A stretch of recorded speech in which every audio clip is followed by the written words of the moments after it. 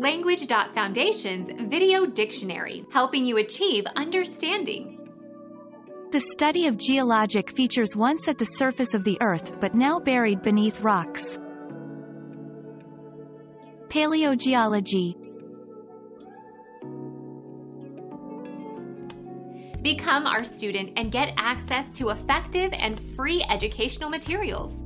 Subscribe to our channel to become a part of our growing community and to learn English effectively.